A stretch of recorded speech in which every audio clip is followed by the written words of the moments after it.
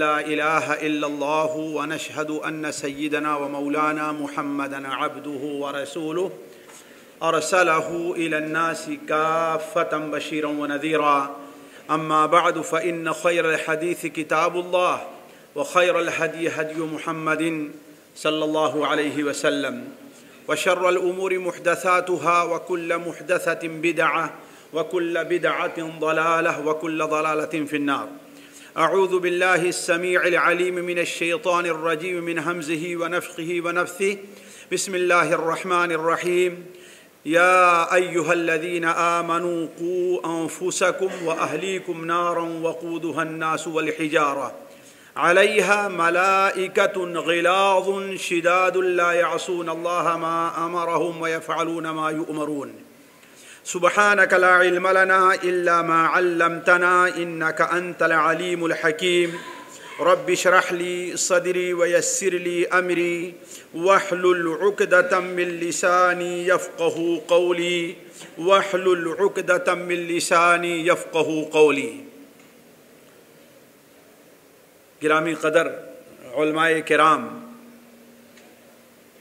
और काबिल एहतराम अम मसाजिद और दीगर दावत के मैदान में काम करने वाले साथियों असलकम वरहमतुल्लाहि वबरकातुहू। आज सबसे पहले हमें और आपको अल्लाह तबारक व ताली का ये शुक्र अदा करना चाहिए कि अल्लाह तबारक व ताली ने हमें और आपको इस मुबारक काम के लिए चुन लिया है जो काम अम्मा अम्बिया अलैहिस्सलाम का रहा है, वो काम जिससे मुतक़ अल्लाह तबारक व ताली इरशाद फरमाता है कि वमन अहसन कौलम दाल्ला उससे बेहतर और कौन शख्स हो सकता है जो अल्लाह तबारक व ताली की तरफ़ दावत दे बुलाए? हज़रत हसन बसरी रहमहुल्ला ने बड़ी प्यारी बात कही है कि इस आयत की तफसीर में कि ये अल्लाह का चुनीदा है। ये अल्लाह का पसंदीदा इंसान है। ये अल्लाह तबारक व ताली का महबूब बंदा है। ये सारी मखलूक़ात में अल्लाह तबारक व ताली का सबसे मुकर्रब और अफजल बंदा है। जिसने अल्लाह तबारक व ताली की इस दावत के ऊपर लब्बैक कहा और ख़ुद भी अपने अमली तौर पर उसको साबित किया।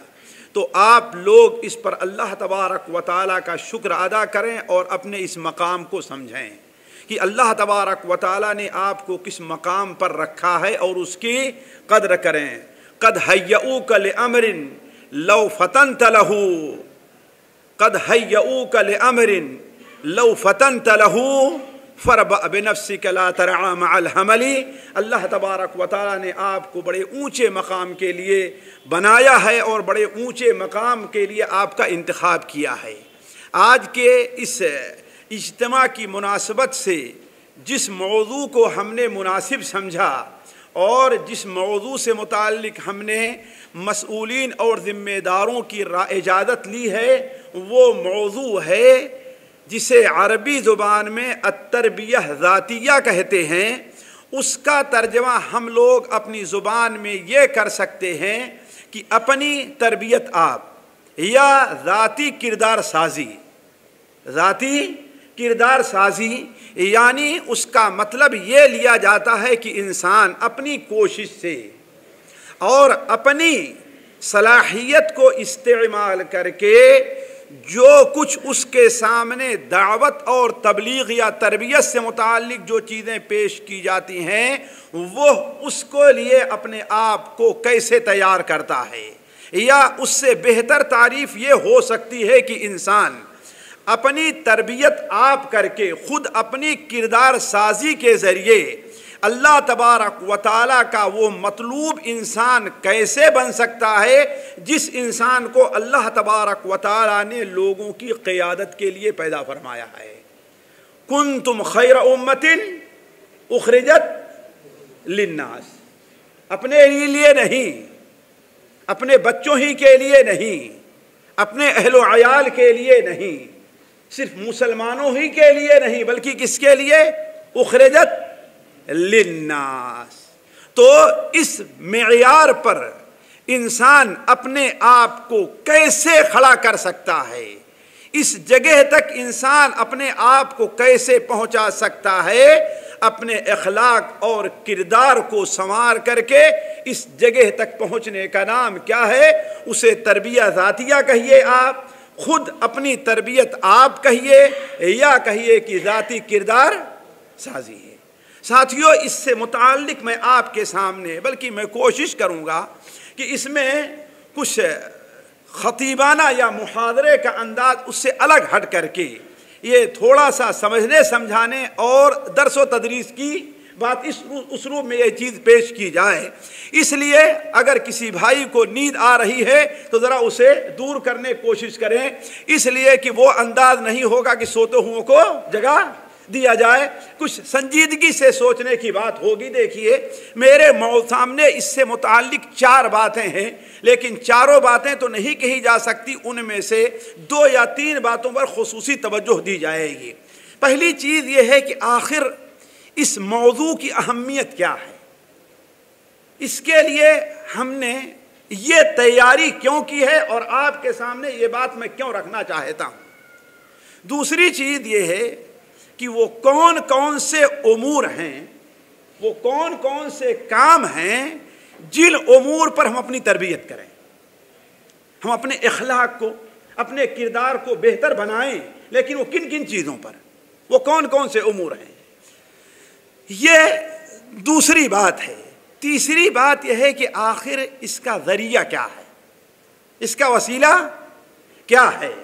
वो कौन कौन से उमूर हैं जिनका अहतमाम करके, वो क्या वसाइल हैं जिसको इस्तेमाल करके, वो क्या तरीक़ा है जिसे अपना करके हम अपनी तरबियत बड़ी आसानी से कर सकते हैं। और आखिरी बात, अगर मौका रहा तो इशारा इस तरफ़ होगा कि इस सिलसिले में रुकावट क्या चीज़ें बनती हैं। इंसान की खुद अपनी तरबियत करने में रुकावट है किस चीज़ आती है और उसका तदारुक कैसे किया जा सकता है। तो पहली चीज़ जहाँ तक है साथियों तवज्जो देंगे आप लोग, देखिए। हम में का हर इंसान हर इंसान पर सबसे ज़्यादा हक अल्लाह तबारक वाली के बाद किसका है? अल्लाह और उसके रसूल को आप थोड़ा सा ऊपर करेंगे।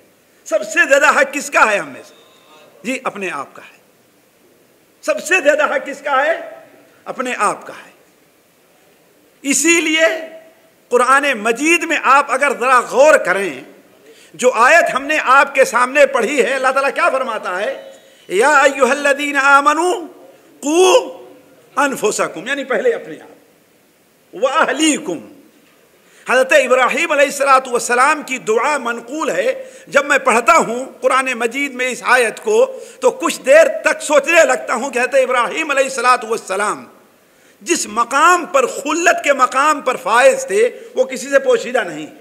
लेकिन जब उन्होंने अपने वालदेन और लोगों के लिए दुआ की तो क्या फरमाया आपने?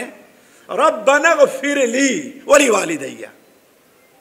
रब बन फिर ली वली वाली दैया गोया सबसे पहले किसको रखा? अपने आप को सबसे ऊपर रखा सुनन तिरमिदी में। हज़रत अब्दुल्ला इब्न अब्बास की रवायत है कि नबी करीम सल्लल्लाहु अलैहि वसल्लम जब किसी के लिए दुआ करते तो बदा बेनफ्स ही क्या बदा बेनफ्स ही अपने से इब्तदा करते, यानी पहले अपने लिए दुआ, फिर तो हर इंसान पर कोई भी हो सबसे ज़्यादा हक किसका है? उसका? तो अगर जिसका हक सबसे ज़्यादा है उसकी तरबियत तो ना की और लोगों की सलाह की फ़िक्र में रहिए तो ये कहाँ की, की अकलमंदी है? ये कहाँ का? इंसाफ है। जरा सोचिए। है कि नहीं? इसीलिए जरा देखें आप कुरान और हदीस के ऊपर गौर करें तो जहाँ बहुत से मामलात में अल्लाह तबारक व ताली ने, अल्लाह के रसूल सल्लल्लाहु अलैहि वसल्लम ने खुद इंसान को अपने एहतमाम के लिए ज़्यादा तवज्जो दिलाई है बगैर बजाय किसके? दूसरों के। मिसाल के तौर पर, एक आम सी चीज़ है। एक शख्स अल्लाह के रसूल खिदमत में आता है, इमाम बुखारी रहमतुल्लाह में, इमाम अबू दाऊद उससे अपने सन में नकल करते हैं कि अल्लाह के रसूल एक बार आपने सदका की दावत दी। एक शख्स ने कहा कि, ए अल्लाह के रसूल वसल्लम, मेरे पास एक दीनार या एक दिरहम है। आपने क्या फरमाया? अनफिक अला नफसिक। क्या फरमाया आपने? अनफिक वाला गोया की नफ्स क्या है? उसका एहतमाम क्या है? हर एक के ऊपर मुकदम है। वो हदीस जो आप लोग बार बार सुनते और पढ़ते और तकरीरों में बयान करते आए हैं। नबी करीम वसल्लम हत अब्दुल्ला इब्न आस जब उनके बारे में बताया गया कि वो रातों भर नमाज़ पढ़ते हैं, दिन भर रोज़ा रखते हैं। तो आप सल्लल्लाहु अलैहि वसल्लम ने उन्हें जो तोजीहात दी, आपने फरमाया इन ले रब का अलई का हक्का व इन ले नफ्स का अलई का हक्का। है कि नहीं? तो गोया सबसे पहले ये चीज़ हमें जहन में रखना चाहिए अय मस्जिद के इमाम अय खतीब अय दाई सबसे पहले इंसान को किसकी फ़िक्र करनी चाहिए? जी, अपने आप की, लेकिन खाने में नहीं। जी, किस चीज़ में? इसीलिए उलमा कहते हैं, इंसान दुनिया के मुकाबले में जिसको चाहे अपने पर मुकदम रख दे, आगे कर दे, कोई बात नहीं। सबको आगे बढ़ाए। खुद भूखा रहे, दूसरे को खिला दे। अपने पुराना कपड़ा पहले दूसरे को, नया कपड़ा लेकिन जहाँ आखिरत का मामला है, वहाँ क्या है? इसलिए बाद उलमा ने इतनी बारीक बीनी से इस चीज़ को लिया है कि सफ में के अंदर पहली सफ खड़ी हुई है। जैसा कि आमतौर पर होता है, एक शख्स खड़ा हुआ है, पहली सब में उसको जगह मिली है, लेकिन देखा कि मौलवी साहब, हाफी साहब पीछे से भागते हुए आए तो क्या करता है वो? जी, क्या करता है? क्यों भाई? उलमा कहते नहीं नहीं। तेरा हक पहले। अगर मौलवी साहब को इस जगह की ज़रूरत है तो पहले आए। है कि नहीं? ये हक तुझे अल्लाह ने दिया है। हज़रत इब्राहिम सलाम को देखिए, सबसे पहले किसका किसका एहतमाम किया? अपनी जात का रब बनग फिर ले दूसरी चीज़ साथियों, जरा गौर करेंगे। हर शख्स, शरई उसूल ये है कि क़यामत के दिन अपना जिम्मेदार होगा और अपनी बात का, अपने आमार और किरदार का जवाब दे, खुद होगा। कोई दूसरा उसकी तरफ़ से जवाब देने वाला नहीं होगा। आज आप वकील कर लें। आज आप अपने साथ किसी को तर्जमानी के लिए ले जाएँ, लेकिन क़यामत के दिन कोई, हत्ता कि वो काम जो इंसान दूसरे के बहकावे से कर रहा है। जो इंसान दूसरे के वरगलाने से कर रहा है, क़यामत के दिन उसका जवाब दे भी इंसान क्या होगा? खुद अपने आप होगा, दूसरा कोई नहीं होगा। वला तजर वाजरतू विजर उखरा, व इन दा खुरबा। अगरचे आपका करीबी और रिश्तेदार ही क्यों नहीं है? आपका बाप आपकी बीवी ही क्यों नहीं है? कयामत के दिन आपके आमाल का जवाब दे कौन होगा? आप होगे कोई? नहीं होगा। कोई दूसरा? खुद इंसान। तो जब इंसान क़यामत के दिन अकेले अपने अमाल का जवाब दे है तो सबसे ज़्यादा हकदार अपनी तरबियत का कौन है? जी, खुद इंसान है, दूसरा कोई नहीं है। खैर साथियों, बात लंबी है, मैं मुख्तर कर रहा हूँ, वरना इसकी अहमियत अपने जवाब दे कि ये है कि बसा औकात इंसान दुनिया के लिहाज से, इंसान समझता है। लेकिन जैसा कि शेख मुकीम साहब फरमा रहे थे, अल्लाह तबारक व ताली हकीम है, उसका कोई काम हिकमत से खाली नहीं। लेकिन हमारी समझ में नहीं आती बात। मिसाल के तौर पर मैं आपको सीरत के एक वाक़े की तरफ़ आपकी तवज्जो दिलाऊं। बनु कुरैदा के मौके पर। बनु कुरैदा के मौके पर अल्लाह के रसूल सल्लल्लाहु अलैहि वसल्लम ने हज़रत साद इब्न मुआज को इस बारे में फैसला के लिए कहा। आप लोग पढ़े लिखे मैं इशारा कर रहा हूँ। तो हज़रत साद इब्न मुआज ने जो फैसला किया, अल्लाह ताला उसके बारे में क्या फरमाया था? क्या फरमाया था? है कि नहीं? गोया कि इस फैसले में कोई नाइंसाफी नहीं लेकिन जब लोग पकड़े गए और कत्ल किए गए तो हर इंसान हर इंसान खा अपने साथियों, अपने बड़ों, अपने बुज़ुर्गों, अपने पुरखों की राय पर से राज़ी था या राज़ी नहीं था? अगर वो बालिग हो चुका था तो उसे कत्ल किया गया। है बात सही कि नहीं सही है? तो गोया इस दुनिया में भी जिम्मेदार ठहरा अपने अमाल का। हालाँकि, सब लोग राज़ी नहीं थे ना उस पर। इसीलिए आप ने ऐलान फरमाया कि जो कोई आदमी आ जाए तौबा करके उसे छोड़ दिया जाता है। तो जिसके, आप जानते हैं जो नाबालिग थे, जितने यहाँ तक कि उनका तहबंद उठा करके देखा जाता। अगर बाल उगे होते, यानी बालिग हो गया तो उसे कत्ल कर दिया जाता। तो हर इंसान अपने अमाल का, शरई लिहाज से खुद जिम्मेदार है, कोई उसका जिम्मेदार नहीं है। इसीलिए जब खुद जिम्मेदार है तो आप देखेंगे अल्लाह तबारक वाली के सामने हर आदमी अकेले हाजिर होगा। हिसाब अकेले देगा, कोई दूसरा उसके साथ है। हिसाब वकुल्लुहुम आती ही क़ियामती फरदा। है कि नहीं? कि कोई कोई वकील लेकर के आएगा। सही बुखारी शरीफ की वो हदीस आप लोगों ने बात सुनी है ना, कि अल्लाह के रसूल ने इरशाद फरमाया कि तुम में का कोई ऐसा शख्स नहीं है मामिन अहदिन इल्ला सयुकल्लिमुहुल्लाह सयुकल्लिमुहु रब्बुहु लैसा बैनहु व बैनहु तुर्जुमान बल्कि ये मामला साथियों इतनी बारीकी से क़यामत के दिन पेश आएगा कि जो मामला अल्लाह ताला और उसके बंदे के दरमियान होगा, वो फरिश्तों को भी उसका इल्म नहीं होगा। कि क्या अल्लाह ताला उससे क्या बात कर रहा है?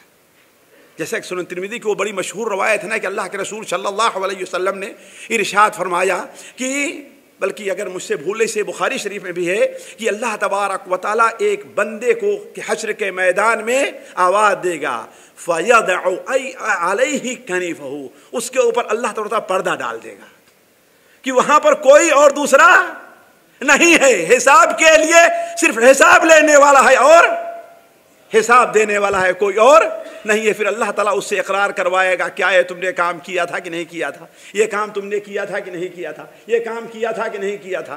क्योंकि अल्लाह ताला का वो नेक बंदा होगा, लेकिन गलतियाँ हुई होंगी, फिर वो क्या करेगा कि अल्लाह ताला सारी चीज़ें सही लिखी हुई हैं। तो अल्लाह ताला फरमाएगा अय बंदे, जा, हमने दुनिया में जिस तरीके से पर्दा डाला था, आज भी पर्दा डाल दे रहा हूँ। है कि नहीं? जरा देखिए ये इस तरीके से हर इंसान हिसाब दे होगा। लिहाजा साथियों, जब हर इंसान अपने आमाल का अकेले हिसाब दे है तो इसका मतलब यह है कि वो अपनी तरबियत का सबसे ज़्यादा जी, उसका नफ्स हकदार भी है कि अपनी तरबियत खुद भी, खुद ही करे। एक और चीज़ ज़रा गौर करें। इंसान कोई भी इंसान है, छोटा है या बड़ा है, अपने अयूब के बारे में सबसे ज़्यादा खबर वही रखता है।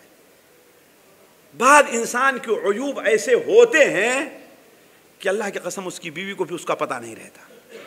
है बात सही कि नहीं सही है? इंसान के बाद अयूब हालाँकि उतना करीबी इंसान के और कोई होता है? जी, नहीं होता है। इंसान अपनी छोटी बड़ी खूबियाँ और बुराइयाँ अपने बीवी के सामने, इसीलिए बाद एक मगरबी दानिशवर ने कहा है कि मोहम्मद सल्लल्लाहु अलैहि वसल्लम के हक होने की, सच्चे नबी होने के सबसे बड़ी दलील ये है कि उनकी एक साथ नौ बीवियाँ रही। कितना? नौ बीवियाँ। लेकिन किसी बीवी से आपका कोई आयब मनकूल नहीं है। किसी बीवी ने आपका कोई ऐब नहीं बयान किया है। क्यों? वो जानता है कि इंसान के अयूब पर जितनी नज़र उसकी बीवी को होती, किसी और को नहीं होती लेकिन उसके बावजूद भी इंसान के बाद अयूब ऐसे हैं। हर इंसान आँख बंद करके जरा अगर सोचे तो अपने बाद अयूब ऐसे होंगे जिसका ज़िक्र अपनी बीवी से भी उसने नहीं किया होगा। है बात सही कि नहीं सही? तो जब इंसान अपने अयूब को सबसे ज़्यादा जानता है तो इसका मतलब वो अपनी इसलाह, अपनी तरबियत सबसे अच्छे अंदाज में कर भी सकता है। अलाकुल्ल हाल, साथियों, ज़ाती किरदार साजी की अहमियत इस नाहिए से भी है कि जहाँ तक हमने तजर्बा किया है और पढ़ा है, एक इमाम मस्जिद, एक मस्जिद का खतीब एक दाई हकीकत में अगर देखिए तो सिर्फ़ अपनी ज़ुबान से दाई नहीं होता है। अपने किरदार से भी दाई हुआ करता है। है बात सही कि नहीं सही है? वो अपने किरदार से भी दावत का काम करता है। दुनिया की तारीख पढ़िए आप, खसूसन अफ्रीका के लोग जहाँ बिल्कुल जहालत थी। वहाँ के बहुत से लोग और बहुत से इलाके जो मुसलमान हुए हैं, वो मुसलमान ताजरों के अखलाक और आदा से मुतासर होकर के हुए। है बात सही कि नहीं सही? तो एक मोमिन जो होता है, एक इमाम मस्जिद जो होता है, एक खतीब जो होता है, एक दाई जो होता है, वो सिर्फ़ अपने कौल से दावत का काम नहीं करता, बल्कि अपने किरदार से भी दावत का काम तो अगर आपके अमल और किरदार में फ़र्क रहा, आपने अपनी इसलाह नहीं की और दावत के काम में आए तो अल्लाह की कसम वो दावत मुअसर नहीं होगी। वो दावत लोग हो सकता है आपके बेहतरीन कलिमात से मुतासर हो जाएँ, आपके अच्छे उसलूब से मुतासर हो जाएँ। लेकिन ये तअसुर सिर्फ़ सुनने की हद तक रहता है, अमल की हद तक नहीं। इसीलिए देखें, कुरान मजीद में इसकी बड़ी मजम्मत बयान की गई है। उन लोगों की जो अपनी तरबियत नहीं करते और दूसरे की फ़िक्र करते हैं। अता मरून नासा बिल बिर वतन सौना फुसकुम पहले ही पारे की आयत है ना? अता मरून नासा बिल बिर वतन सौना अनफुसकुम। या शायद ही कोई इमाम मस्जिद हो जो इस सूरत को ना पढ़ता हो। है कि नहीं है? नमाज़ में। या अयुहल्लदीन लिमा तकूलून मा ला तफअलून कबूर जी, क्या? आप लोग पढ़े लिखे हैं तर्जमा करने की ज़रूरत नहीं है। कबूर मकतन अंतकूलू माला तफ़ालून। इसीलिए अम्बिया सलाम की जो सुन्नत और जो तरीक़ा रहा है, अल्लाह तबारक व ताली पहल के जब एक बार उनकी इसलाह कर देता था, फिर लोगों के सामने उन्हें और ये कहते भी थे उमा उरीद वन उखालिफकुम इलामा अनहाकुम अन है कि नहीं? वमा उरीदू अन उखालिफकुम इलामा अनहाकुम अन लिहाजा दावी को और दावत के काम करने वाले को अपनी किरदार साजी करनी चाहिए, बल्कि सूरत हाल हमारा, हमारे और आपकी ये होनी चाहिए। कि दीनो दानिश का मरक्का बन के दीनो दानिश का मरक्का बन के दीनो दानिश का मरक्का हो के रूप में इस तरह बनकर बढ़े हम पासबानी के लिए। तो अलाकुल्ल हाल इस तरीके से और भी बहुत सी चीज़ें हैं साथियों, जो ज़ाती किरदार के लिए ज़रूरी हैं। उनमें से एक चीज़ ये है कि माशरे की असलाह का पहला सीना क्या होता है? पहला दीना क्या है? इंसान की अपनी इसलाह। घर की अगर इसलाह हो जाए एक फर्द की, पूरे घर की सलाह होगी, पूरे घर की सलाह हो, पूरे मोहल्ले की सलाह होगी, पूरे मोहल्ले की सलाह हो, पूरे शहर की सलाह होगी, पूरे शहर की सलाह पूरे मुल्क की सलाह हो जाएगी। तो इसलाह का पहला जीना क्या है? इंसान की अपनी जात है। इसी तरीके से साथियों, आखिरी बात ये बताइए, इस किस्म के प्रोग्राम पर कितना खर्च हुआ करता है? हज़ारों खर्च होता है नहीं होता? होता है ना प्रोग्रामों पर? या कम से कम छोड़ दीजिए, एक इमाम मस्जिद रखा जा रहा है। तो उस पर खर्च हो रहा है कि नहीं खर्च हो रहा है? हो रहा है खर्च। लेकिन यह प्रोग्राम मुफीद कम होगा। खतीब की बातें मुफीद कम होंगी, कम मुफीद होंगी। जबकि सुनने वाले और सामने बैठने वाले ये सोच करके बैठें कि जो कुछ हम सुन रहे हैं, उसे अपनी ज़िंदगी में अपनाना भी है। है बात सही कि नहीं सही? वरना कोई फ़ायदा होगा? तो जितने बरामज पेश किए जाएँ, प्रोग्राम पेश किए जाएँ, वो मुफीद उसी वक्त हो सकते हैं, जबकि जिन लोगों के सामने ये बरामज, ये प्रोग्राम पेश किया जा रहा है, वो उन प्रोग्राम को कबूल करने की अपने अंदर सलाहियत पैदा करें। है कि नहीं? वरना शेख अब्दुलसलाम हैं, शेख मुकीम साहब हैं और फला साहब हैं इनायतुल्ला किफ़ायतुल्ला फला उल्ला फला उल्ला इनकी सारी कोशिशें क्या हो जाएगी? कोई काम देगी? किसी काम आएगी साथियों? सोचें आप, काम कब देंगी? जब आप लोग ऐ सुनने वालों अपने अंदर ये जज्बा पैदा करो कि ये जो चीज़ें बयान की जा रही हैं, इसके जिम्मेदार हम हैं और इसे अपनी ज़िंदगी में अपनाने की हम कोशिश भी करेंगे। है कि नहीं? खैर, इस सिलसिले में साथियों बातें और हैं, लेकिन हम आप अगली मंजिल पर आते हैं कि तरबियत किन उमूर पर, अपनी ज़ाती तरबियत, अपनी ज़ाती किरदार साजी किन उमूर पर की जाए। साथियों, इनमें से तीन चीज़ें बहुत अहम हैं, मैं उसमें तफसील में नहीं जाऊँगा, सिर्फ़ इख्तार के साथ आपके साथ बयान करता हूँ सामने बयान करता हूँ। तीन चीज़ें बहुत उमूर हैं। पहली चीज़, सबसे पहली चीज़, मेरे दाई भाइयों मेरे इमाम, मस्जिदों के इमाम ए मिंबरों के खतीब ए मेरे साथियों, सबसे पहली चीज़ जिस पर अपनी तरबियत करनी है, वो ये है कि आपका ताल्लुक अल्लाह ताला के साथ कैसा है। आपका मामला अल्लाह ताला के साथ कैसा है।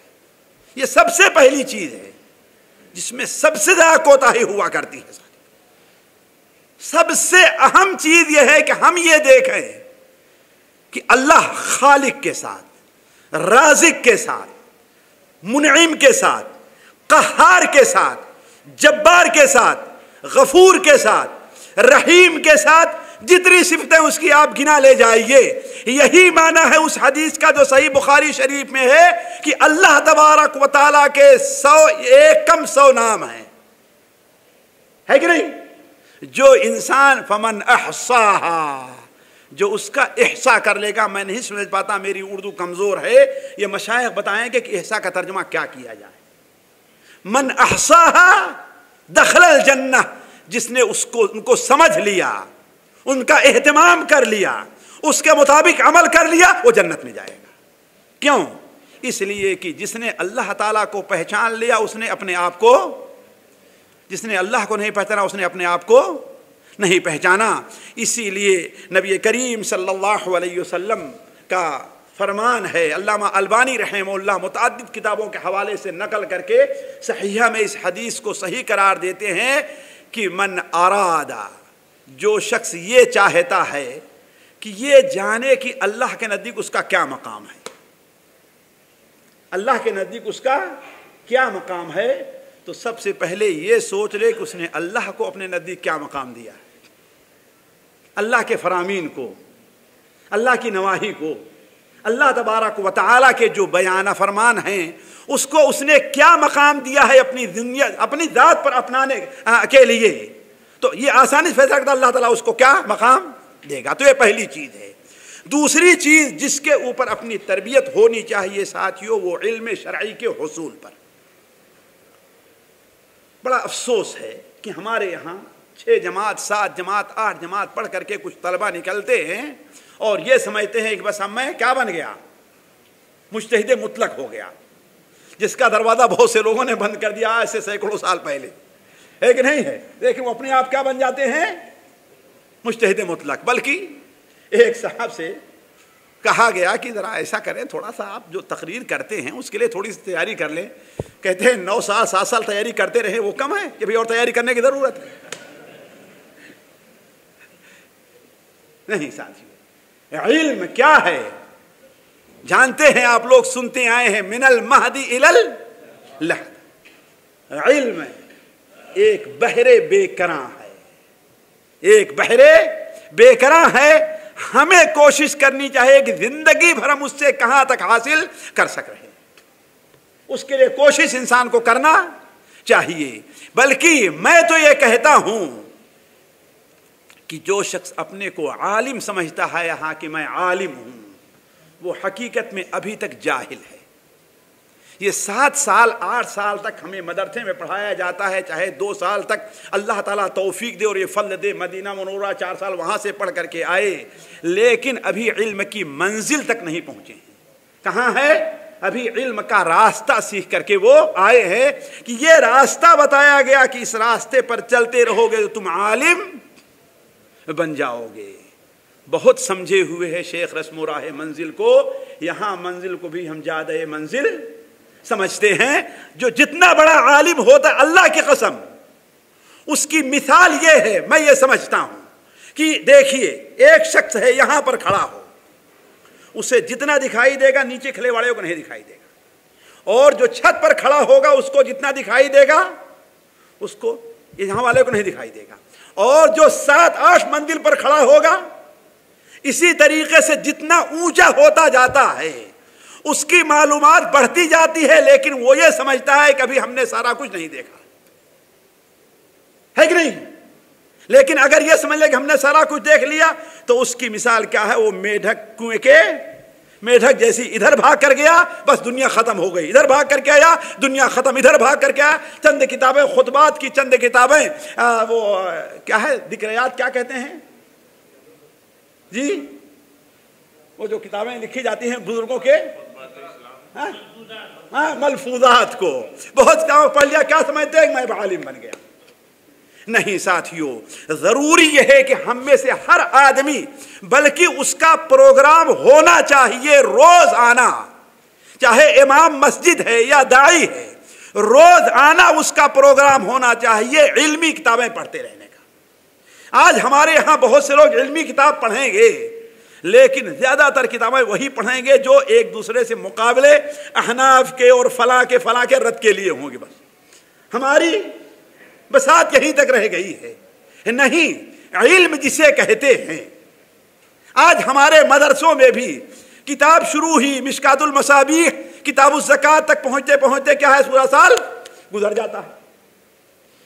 है कि नहीं? उसके बाद की चीज़ें क्या हैं? और अगर हुआ भी, दौरा के तौर पर हुआ करता। बाकी जो चीज़ें रह गई, कौन पढ़ेगा, कब पढ़ेंगे? आपको मदरसे में एक तरीका बता दिया गया, आप चलते रहिए चलते रहिए।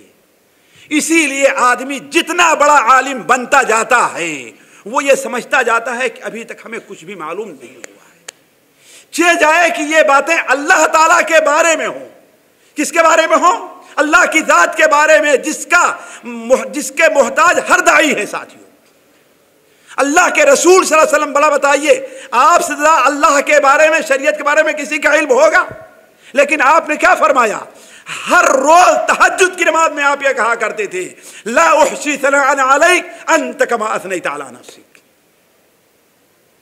और यही माना है उस आयत का इन नमा यक्षल्लामिन इबाद ही अलमा अल्लाह ताला से सबसे ज़्यादा डरते कौन है जो उलमा होते हैं? और आज के बहुत से उलमा जो बने हुए आप लोग देख रहे हैं कि अल्लाह से डरते हैं कि नहीं डरते? जी, है कि नहीं? धोखा देना नवजबिल्ला मिजालिक बुरा ना मानेंगे, है कि नहीं? लेकिन वजह क्या है? वजह उसकी है कि इल्म नहीं है उनके पास। जो हकीकी इल्म होना चाहिए वो उनके पास नहीं है। ज़रूरत यह है कि उसके बारे में अपना सिलसिला जारी रखे और आगे बढ़े। खैर अलाकुल्हाल तीसरी चीज़ जिसके ऊपर तरबियत होनी चाहिए, वो अपने इल्म के मुताबिक क्या है? अमल है। जो चीज़ सीखें, उसके मुताबिक क्या करें? अमल भी करें। अगर उसके मुताबिक अमल नहीं है तो इनमें पढ़ने से कोई फ़ायदा है? आप लोगों को याद होगा, जो भाई होंगे पिछली मजलिस के अंदर, साल भर पहले जो यहाँ हुई थी, हमने ये बात कही थी कि शरीयत के इसलाह, इस्तेलाह में इल्म उसे कहा जाता है, जिस इल्म के मुताबिक अमल किया जाए।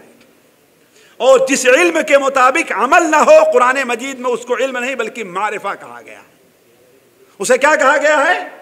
मारफा, कुरान मजीद उसका नाम इल्म नहीं देता। इसीलिए कुरान मजीद में अल्लाह तबारक व ताली ने बसा इल्म बोल करके क्या मुराद लिया है? अमल मुराद लिया है। किसी को आयत याद जो दलील है इसके ऊपर? कि इल्म बोल करके अल्लाह ताला ने अमल मुराद लिया हो। पिछली मजिद से हमने वो बात रखी थी। किसी भाई को याद है वो दलील? कि कुरान मजीद में लफ्ज इल्म का इस्तेमाल हुआ है। लेकिन मुराद क्या है उससे? जी? अमल है। वो कौन सी आयत है? जी? ना। नहीं। हाँ सही फरमाया। कुल हल यस्तविल लदीन यालमून वल्लदीना ला यालमून। यहाँ हज़रत अली रदियो मैं जब पढ़ता रहा बगैर तफसीर के, बड़ा ताज्जुब होता रहा इस आयत के ऊपर। क्यों? इसलिए कि शुरू आयत से आप पढ़िए तो वहाँ इल्म का कोई ताल्लुक बनता ही नहीं है अमन हुआ कानतुन आना अल्लैली साजिदम वकाइमई यहजरुल आखिरत वयरजू रहमत रब्बी जरा देखें ये इल्म का बयान है कि अमल का बयान है ये अमल का बयान है ना अमन हुआ कानतुन आना अल्लैली साजिदम वकाइमई यहजरुल आखिरत वयरजू रहमत रब्बी ये अमल का बयान है ना फिर उसके बाद फरमाया अल्लाह ताला कुल हल यस्तविल्लदीन यालमून वल्लदीन ला यालमून हज़रत अली रज़ी का तफसीर जब हमने इसको देखा तो हज़रत अली रज़ी तो इस आयत की तफसीर फरमाई है, कुल हल यस्तविल्लदीन यामलून वल्लदीन ला यहाँ इल्म से मुराद क्या है? अमल है। तो जिस इल्म के मुताबिक अमल ना किया जाए, शरीयत उसको इल्म नहीं कहती। उसको क्या कहती है? मारफा कहती कि मारफा हासिल है। वो चीज़ दिमाग में है, लेकिन दिल में अभी तक नहीं उतरी है। तो कहने का मतलब यह है, साथियों, कि इल्म के मुताबिक अमल पर अपनी तरबियत होनी चाहिए। तीन चीज़ें हैं जिस पर बड़ी अहम ज़रूरत है तरबियत करने की। फिर सुन लीजिए, पहली चीज़ क्या है? अल्लाह ताला के साथ अपने ताल्लुक पर। दूसरी चीज़, इल्म हासिल करने पर। तीसरी चीज़, अमल पर। अब आते हैं हम इस बात की तरफ़ कि आखिर हम अपनी तरबियत और अपनी किरदार साजी कैसे कर। कैसे कर सकते हैं? यह है असल मौजू कि हमारी तरबियत कैसे हो। पहली चीज़ यह है साथियों कि ईमानियात और अमाल कलबिया जो हैं, उनका एहतमाम किया जाए। साथियों, असल बुनियाद इंसान के जिस्म में उसके इसलाह की उसका दिल है। किसी बात पर अगर उसका दिल मुतमिन हो जाए तो वो काम इंसान कर लेता है। हमने ऐसे भी लोगों को देखा है कि आप उन्हें एक साल हो गया, दो साल हो गया, तीन साल हो गया, आप उन्हें सिगरेट छोड़ने के लिए कह रहे हैं, उसका नुकसान बता रहे हैं, लेकिन वो उसको नहीं छोड़ते। लेकिन एक वक्त आया, दूसरे ही दिन छूट गया सिगरेट उनसे। दूसरे ही दिन छूट गया। वो कैसे? गए, डॉक्टर के यहाँ चेक कराया डॉक्टर ने कहा कि मामला बड़ा खतरनाक है, सिगरेट छोड़ दो, वरना तुम्हारे जान का खतरा है। दूसरे दिन सिगरेट उनसे गायब।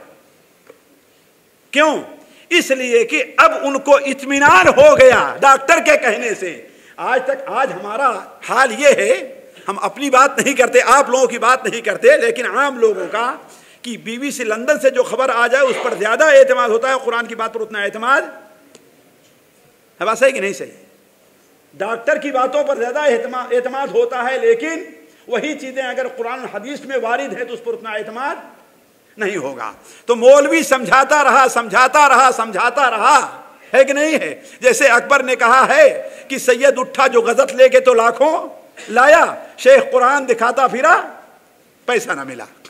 है कि नहीं है? तो हमारा एहतमाम इस सिलसिले में होना चाहिए साथियों कि हम और आप अपने आमाल कलबिया की और ईमानात की ईमानियात का इसलाह करें। अगर हमारा दिल और हमारा ईमान अल्लाह तबारक व के अहकाम पर सही हो जाए तो हमारी इसलाह बहुत आसान है। हम अपनी इसलाह बड़ी आसानी से कर सकते हैं। अगर हमें ये इत्मीनान हो जाए, एक शख्स है, हमारा एक भाई है एक बच्चा है, इस मोबाइल के ऊपर आजकल जो बला और जो मुसीबत मुसलत है। मिसाल के तौर पर इस मोबाइल के ऊपर इंसान अपना कितना वक्त लगाता है जी? कितना वक्त सर्फ करता है? और कुरान पढ़ने में? जी। कुरान पढ़ने में? जरा सोचें, आप फैसला कर लें, खुद आप लोग। मैं इसीलिए कह रहा हूँ, जाती तरबियत कीजिए, साथियों। हर आदमी इसमें मुबतला है, जरा देखें। कितना वक्त लगाता है हमारे भाई के चार या पाँच घंटे? जरा सोचें। और अगर चार पाँच घंटे आप कुरान मजीद पढ़ें, और तदब्बर के साथ गौर करके पढ़ें, आप लोग पढ़े लिखे लोग हैं तो कम से कम चार पाँच पारा पढ़ेंगे कि नहीं पढ़ेंगे? पढ़ेंगे ना? लेकिन कितने पारा रोज़ाना पढ़ते हैं? जरा सोचें, फैसला करें। अल्लाह के करीब कौन करेगा? आपके दिल की सलाह कौन करेगा? कुरान की मोबाइल करेगा आपका जी। तो सबसे अहम चीज़ यह है कि अपने दिल की और अपने ईमानियात की असलाह की ज़रूरत है। अगर हमारा यह ईमान हो जाए कि अल्लाह तबारक वाली हमारी हर छोटी बड़ी चीज़ों को देख रहा है, हर छोटी बड़ी चीज़ों को देख रहा है अल्लाह तबारक वाली तो इस मोबाइल के ऊपर कभी गलत तस्वीर आ जाती है जिसको हम गौर से देखना शुरू करते हैं तो हम देखेंगे। जी। डेढ़ साल का कोई बच्चा आ जाता है तो अगर हम कोई चीज़ देख रहे हैं तो क्या करते हैं? उसको फ़ौरन क्या कहते हैं आप लोग आगे पीछे कर रहे हो? क्या कहते हैं? आगे पीछे कर देते हैं। है कि नहीं? होता ही नहीं होता है? ऐसा होता है ना? तो डेढ़ साल के बच्चे का आपको खौफ है, शर्म है। लेकिन अल्लाह तबारक वाली की शर्म नहीं है। जरा सोचे ईमानियात का मुहासबा करें आप। साथियों, ये मैं कहता हूँ, सबसे अहम चीज़ जो है, इसीलिए पहली बात कि अल्लाह से ताल्लुक के ऊपर हम अपनी तरबियत करें। और सबसे पहला मरहला यह है कि हम अपने ईमान की इसलाह करें और अपने आमाल कलबिया इसे जानते हैं कि जिसका दिल दुरुस्त नहीं है, क़यामत के दिन वो इंसान, ऐसे मौके पर मैं आपके सामने शायद बाद में भूल जाऊँ। एक दुआ का एहतमाम, इसलिए कि अपनी दाती तरबियत में दुआ भी एक वसाइल में से एक वसीला। सही सुनन नसई वगैरह में हरत शद्दाद इबन औस से मरवी है, बल्कि बाद रवायात में है कि आप वसल्लम ने बयान फरमाया कि ए शद्दाद तन्नास जब तुम लोगों को देखो कि यक नजून वलफिद्दा सोना और चांदी जमा कर रहे हैं तो तू इन कलमात का खजीना कलमात का खजाना अपने अंदर जमा कर ले तू। देख जब तुम लोगों को देखो कि सोना चांदी हासिल करने की फ़िक्र में दुनिया हासिल करने, बिल्डिंग बनवा रहा है, ये कर रहा है वो कर रहा है तो फकनिस हादिल कलिमात तो इस कलमात का एहतमाम कर ले। और इमाम नसई रहमहुल्ला इस हदीस को वहाँ पर लाए हैं कि नमाज़ के आखिर में जो दुआएँ पढ़नी चाहिए, उनमें इस हदीस का ज़िक्र किया है। अल्लाह इन्नी असलू का सबात फिल अम्र, वल अजीमत अल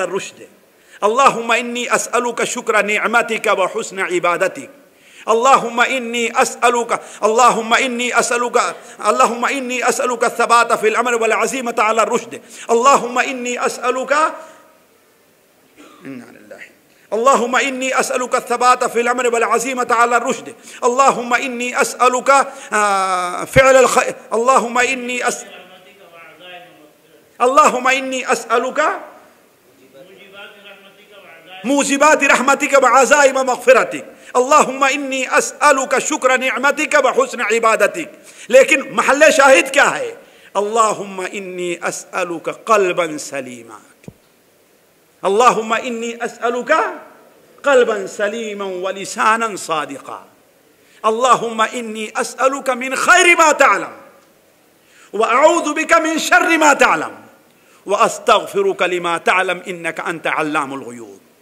तो सबसे अहम चीज़ साथियों, जिसके ऊपर अपनी तरबियत करनी चाहिए, वो चीज़ जिसके, जो तरबियत के लिए बेहतर वसीला हो सकता है, वो क्या है?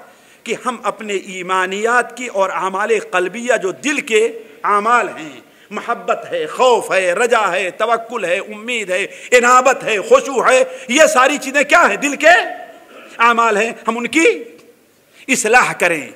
इसीलिए मैं कहता हूँ, एक दाई को अपने तमाम कामों में एहतसाब को मद्देनजर रखने की बड़ी ज़रूरत है। किस चीज़ को? एहतसाब। एहतसाब का माना क्या है? यानी इससे सवाब की उम्मीद। जैसा कि नबी करीम वसल्लम ने इरशाद फरमाया अल्लाह अलबानी सहिया में उसे सही करार दे देते हैं, ला अजरा इल्ला बिल हिस्बा। किसी इंसान को कोई अजर मिलने वाला नहीं है। आपकी नमाज़ के ऊपर, आपके खुतबे के ऊपर, आपकी तकरीर के ऊपर, आप इमामत के ऊपर, खिताबत पर, किसी चीज़ पर, कि दावत पर कोई अजर मिलेगा नहीं। इल्ला बिल हिस्बा। वला अमला इल्ला बिन्निया और कोई अमल सही नहीं होगा, मगर नीयत से गोया नीयत के अंदर और हिस्बा में क्या है? एहतसाब में फ़र्क है।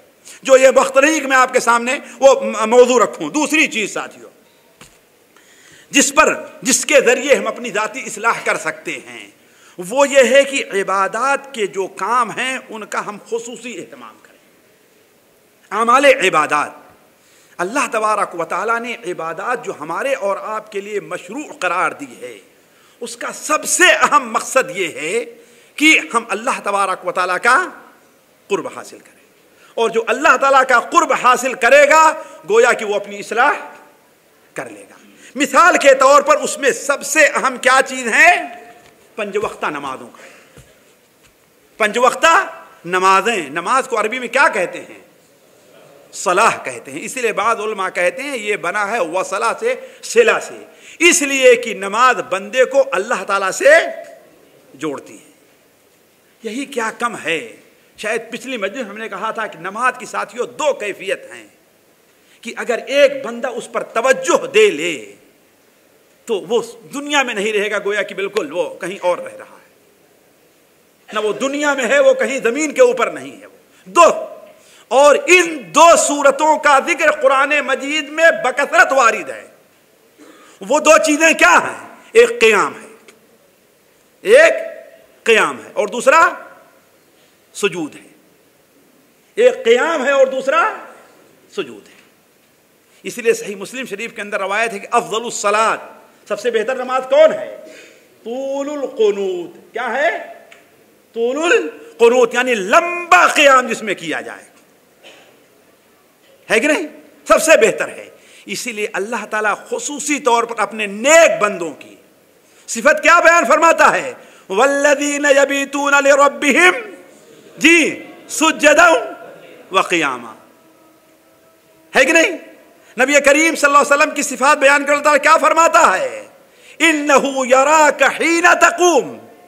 और आगे, व तकल्लुबका फिसाजिदीन तो नमाज़ का एहतमाम पंज वक्ता नमाजों का एहतमाम साथियों, खुशु और खुदू, उनके तमाम आदाब को शरात को मलहूज रख करके बड़ी अहम चीज़ है। इसी तरीके से खसूस साथियों बहुत कमी पाई जाती हमारे दुआत के अंदर, हम अपनी हर एक के अंदर है। वो ये है कि वो नमाज़ का वक्त होने से पहले, अजान होने से पहले, जमात हो, खड़ी होने से पहले नमाज़ के लिए तैयारी के बारे में सोचते ही नहीं नहीं सोचते। जमात में सबसे आगे कौन रहता है? कोई मौलवी आपको नहीं दिखाई देगा। बुरा ना मानेंगे। है कि नहीं मौलाना? भाई, इमाम तो मजबूर है, अगर उसको ना करना हो तो पीछे। अगर इसीलिए जिस जहाँ पर वो होता, उसे नमाज़ नहीं पढ़ानी रहती है, वो आगे नहीं दिखाई देता। बुरा ना माने, ये आम मुलाहजा है साथियों। एक आमी आदमी आपको दिखाई देगा। क्यों? यहाँ आपने क्या बयान है लियली मिलकुम उलुल अहलामी है कि नहीं? हमारे बगल में वो रहे जो नमाज़ पढ़ना नहीं जानता है। जो इमामत करना नहीं जानता है। कौन रहे मेरे सबसे करीब में? उलुल अहलामिवन नुहा। ये बड़ी कमी है साथियों। नमाज़ का एहतमाम, नमाज़ का वक्त होने से पहले, ए दाई, ए खतीब, ए इमाम मस्जिद, ए मौलवी साहब, सबसे पहले मस्जिद के अंदर पहली सफ में आपको दिखाई देना चाहिए। एक जगह बनाइए आप। आप लोगों के लिए खुदवा हैं, अगर आप पीछे रहे तो। आप क्या वो हदीस बयान करने की है? कि नबी करीम वसल्लम ने इरशाद फरमाया, मन फ़ी जमाअतिन युद्रिकु तकबीरतल ऊला कुतिब बराअतुम मिनन निफाक मिनन नार. इसलिए कि 40 दिन जिसने अल्लाह ताला के लिए एहतमाम कर लिया, उसकी आदत पड़ जाएगी है कि नहीं? ये मकसद है, अगर अल्लाह के लिए एहतमाम कर ले चालीस दिन तो उसकी आदत पड़ जाएगी। तो कहने का मतलब इसका एहतमाम हो तकबीर उला के साथ, साथियों। पहली सब में हाजिर होने के साथ, क्या आप लोगों ने वो हदीसें नहीं पढ़ी हैं कि अल्लाह के रसूल सल्लल्लाहु अलैहि वसल्लम ने इरशाद फरमाया कि अल्लाह तबारक व और उसके फरिश्ते उन लोगों पर अल्लाह की अपनी रहमत नादिल फरमाता है। और फरिश्ते दुआए मगफरत करते हैं उन लोगों पर जो सबके दाएँ आकर के पिछली सब में, जी, कि पहली सब में। तो ये कहने का मतलब इस पर अपनी, ये तरबियत का ज़रिया इन, इस पर होनी चाहिए। और अगर ये हो जाए तो आप कामयाब हो जाएँगे। इसी तरीके से रमज़ान का रोज़ा है। रमज़ान का ये वाजिबात की है। लेकिन वाजिबात के साथ साथ नवाफिल इसलिए कि आप जानते हैं कि अल्लाह तबारक व की विलायत हासिल करने का हमें कौन आदमी मोहताज नहीं है? अल्लाह का वली बनना चाहते हैं कि नहीं बनना चाहते? बल्कि बहुत से लोग कहते हैं कि हर अहले दिस अल्लाह ताला का वली होता है। नवबिल्लामिंदाली के शैतानी धोखा है। अल्लाह का वली होगा तो अहले हदीस ही होगा। अगर अल्लाह का सही वली होगा तो अहले हदीस ही होगा। लेकिन ये कोई ज़रूरी हर आदमी जो अपने को अहले हदीस करे, अल्लाह ताला का वली हो। वरना कारिय कुरान और शहीद और जी, सखी सखी, सबसे पहले कहाँ जाएँगे? अल्लाह के रसूल ने फरमाया कि वो अहले हदीस नहीं होंगे। ये नहीं कहा कि बिदाती होंगे। ये नहीं कहा। है कि नहीं? ये कहा कि वो अपने आमाल के लिहाज से कोता होंगे। अपने दिल की गोया कि उन्होंने इसलाह नहीं की है। तो कहने का मतलब है कि अल्लाह ताला की विलायत हासिल करने का बेहतरीन ज़रिया क्या है? नवाफिल और सुनन का एहतमाम है। इसीलिए हर दाई को, हर दाई को मैं कहता हूँ कि जहाँ फराइज का एहतमाम करे, हर इमाम मस्जिद जहाँ फराइज का एहतमाम करता ही है, चूँकि इमाम मस्जिद है। वहाँ उसके साथ साथ उसको नवाफिल का भी एहतमाम ज़रूर होना चाहिए। अभी जुमेरात, जुमा को जो बयान था, हमने लोगों से पूछा कि ये बताइए कि सुन्नतें कितनी हैं नमाज़ से आगे और पीछे? कितनी सुन्नतें हैं? बताइए। दस और बस और कोई चौदह पढ़ता है तो? जी। सुन्नत के लिहाज नहीं पढ़ सकता। बस वही सुन्नत है। सही सुनने ने सही पढ़ा है ना आपने? जी। हज़रत उम्म हबीबा की रवायत है कि नबी करीम सल्लल्लाहु अलैहि वसल्लम ने इरशाद फरमाया, मन हाफद अरबा रकातिन अला अरब रकातिन कबल ज़ुहरी व अरबईन बादहा कितना? चार रकात। अरबई रकातिन कबल ज़ुहरी व अरबईन बादहा हर्रमहुल्लाहु अलन नार। कितनी हो गई? दस हुई कि बारह हुई? जी, बारह हुई? कितना हो गई? चौदह हो गई। बस की और भी है सुन्नतें। और भी हैं? हज़रत अली की वो रवायत हज़रत की नहीं है? रहीम अल्लाहन कबला, सल्ला कबल असरी। अरबान, ये किसके लिए है? तबलीगियों के लिए है। उन्हीं को अल्लाह का वली बनना है, आप लोगों के लिए नहीं है। कौन ज़िंदा करेगा इन सुन्नतों को? अगर हमने नहीं ज़िंदा किया तो। जी, कौन इसका मोहताज है? सबसे ज़्यादा हकदार इसका कौन है साथियों? ये बड़ी कोताही हमारे और आपके अंदर है। नमाफिल इबादत में चाहे नफली नमाजें हैं, चाहे नफली रोज़े ही क्यों नहीं हैं? है कि नहीं? नफली रोज़े। इसी तरीके से नफली सदकात और मौलवी सिर्फ़ खाना जाता है, खिलाना कहाँ जानता है? हम जा रहे हैं, हमारे साथ लोग हमको लेकर के जा रहे हैं कहीं दावत के काम के लिए। है कि नहीं है? कहीं होटल पर अगर गाड़ी रुकी तो क्या करते हैं? मौलवी कभी पैसा निकाल करके चाय का नहीं देगा। है कि तनख्वाही थोड़ी रहा करती है। लेकिन ये बताइए, जिसके पास ज़्यादा हो, उसने खर्च किया तो क्या कमाल किया? किसने क्या कमाल किया? कमाल तो ये है, जिसके पास नहीं है, वो खर्च करे तो। जिसके पास कम है वो खर्च करे तो। क्या आपने ये हदीस नहीं पढ़ी है? अफजल सदका, जी। अफजल सदका थी जी, बताइए। जोहदुल जोहदुल मुकिल जोहदुल मुकिल जरा समझे क्या माना है? जोहदुल मुकिल यानी उसके पास बहुत कुछ है, बहुत थोड़ा है, लेकिन मेहनत किया है, और बड़ी कोशिश से थोड़ा सा निकाल दे रहा है अल्लाह ताला के लिए। अफजल सदका। तो इसका हकदार कौन बनेगा? सिर्फ़ मजदूर बनेगा उसका हकदार। कम से कम मजदूर से तो मेरी तनख्वाह ज़्यादा है। आप हमारे सलफ के बारे में सुनिए, पढ़िए। खुद हदीस हिंदुस्तान, पाकिस्तान के उनकी सिर्फ़ किस तरीके से खैरात करते थे हाल ये बात दूर की है। चलिए साथियों चलिए। इसी तरीके से रात का क़याम। रात के क़्याम को आदत बनाइए। मौलाना सना मल्ला इस्माइल साहब सलफ़ी रहमुल्ला गुजरान वाला अपने एक साथी को ख़त लिखा उन्होंने, कहा, रात के क़्याम की आदत डालो। रात के, अल्लाह ताला रूए ज़मीन से सजा करीब किन दिनों में हो, कब होता है? जी रात के आखिर में। है कि नहीं है? तो उस वक्त हम डालने की क्यों ना डालें?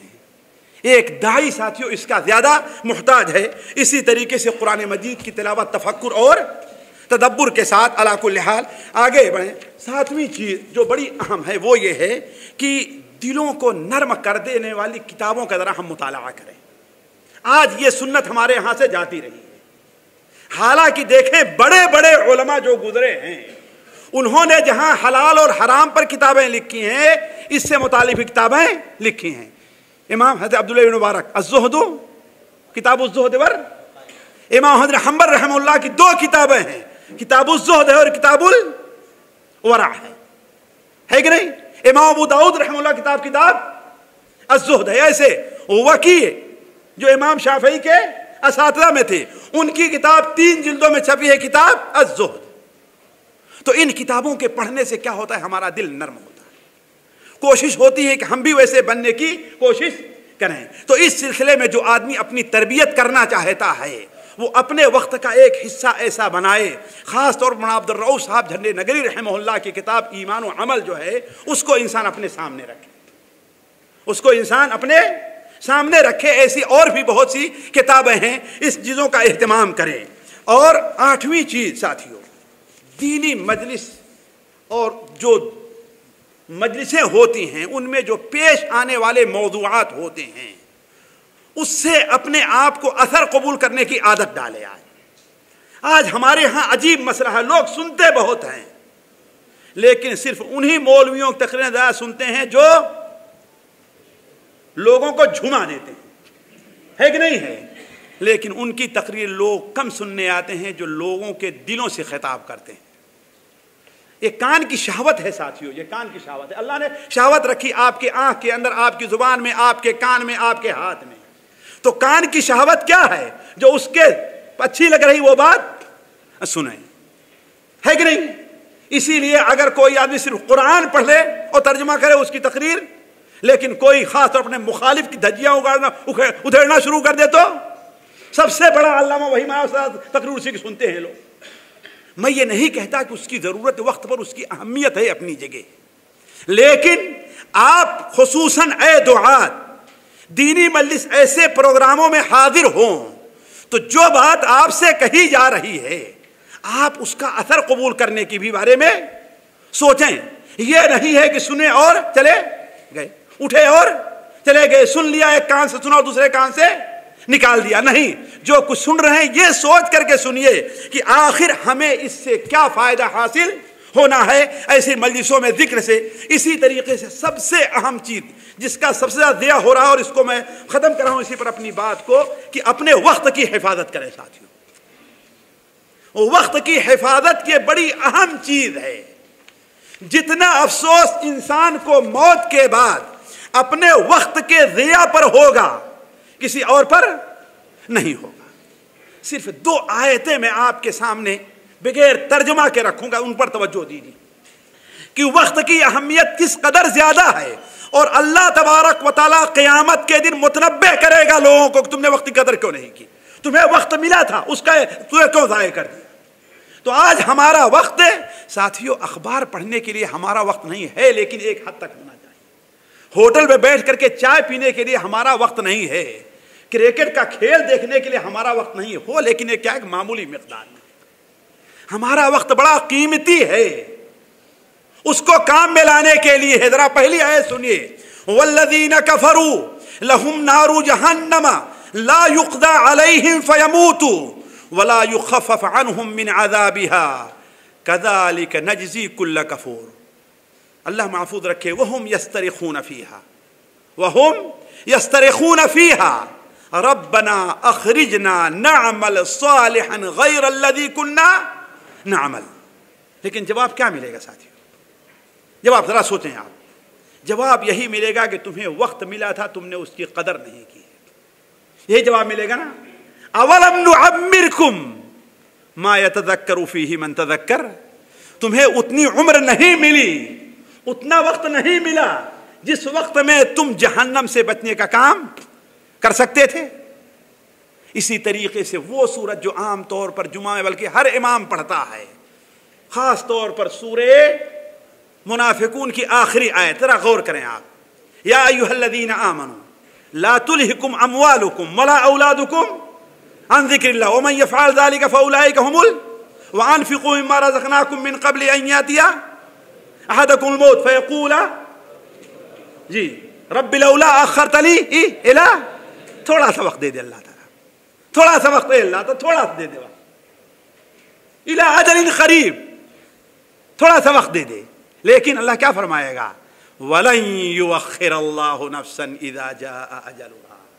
वलन युअखिर अल्लाह नफसन। इसीलिए उस हदीस को हमेशा आप अपने सामने रखें, जिसके बारे में नबी करीम वसल्लम ने इरशाद फरमाया है कि जहन जन्नतियों को जितना अफसोस उस वक्त के बेकार जाने पर होगा। जिस वक्त उन्होंने अल्लाह ताला का ज़िक्र नहीं किया, उतना किसी चीज़ पर अफसोस नहीं होगा। तो वक्त की कदर करें, वक्त को काम में लाएँ।